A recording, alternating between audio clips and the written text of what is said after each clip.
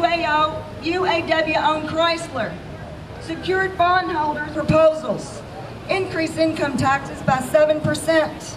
Use 313 billion from Medicare, which is already underfunded. Rob Peter to pay Paul. Dictate services from age 65 and over. You can forget about your golden years. Abolish the tax write-off for the employer. Tax your employer benefit as income. Cap the itemized deductions on those making over 250,000. There are not enough people anymore making over 250,000. Pay for doctors' education to soften the blow for the shrinkage in their income. Slow funding for new technology. Institute an electronic system between the physician and the government. The physician sends your electronic health record to Washington, and Washington sends your plan of treatment back. Free market solutions? Allow all medical deductibles, premiums, and expenditures to be 100% tax deductible. Yeah! This would allow financial consumer relief and allow the power and decision making to stay in the hands of the healthcare consumer and their physician.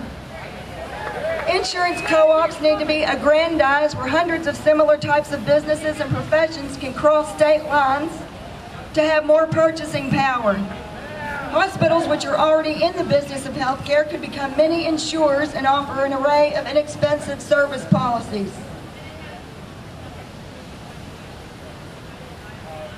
President Obama wants to increase the income tax rate from 28% to 40%. We say lower the income tax rate so that American business owners and investors are confident enough to invest in America.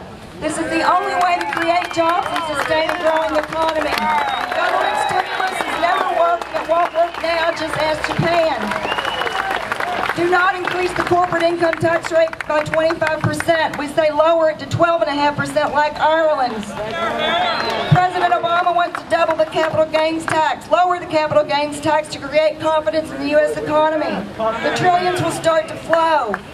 There are over 200 million citizens all striving to reach the American dream. Free enterprise! I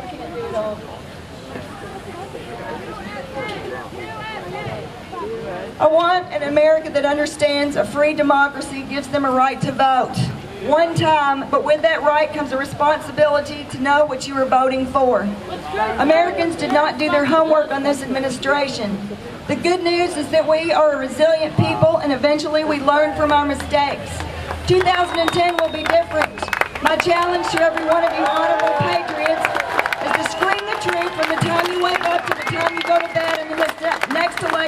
four newly educated people to the ballot box that would not normally be there. We call this T-corn. Taxed enough already coming out for redress now. Finally, our ancestors understood the principles that have made this nation the greatest nation of all time. It is the nation that always gives. It is the nation that has every other nation's back. It was the nation that recognized evil when it saw it. Do not let any president or any government tell you that America is less than or equal to any other. Never! Our ancestors that built this country understood that when we elevate the corrupt, the irresponsible, the non-producers to the top of the food chain, the whole system fails. Change is coming, ever growing, bubbling up from the greatest force in this great nation. We, the people.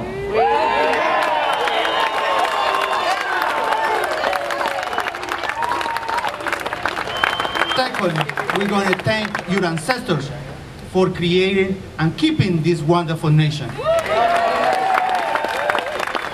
Well, third, it's our duty to keep this nation the way the founding fathers created for you and for me.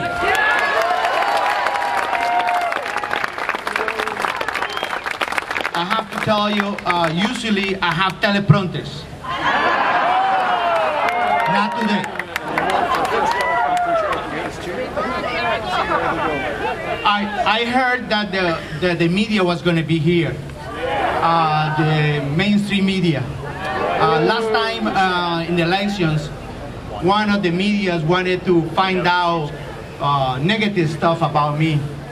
And uh, he asked me, how do you came to America, Tito? And I say, I came with Braniff.